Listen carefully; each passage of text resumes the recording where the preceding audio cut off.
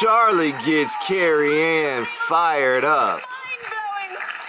She got her fired up with that spicy performance. I'm not sure why I was lunging.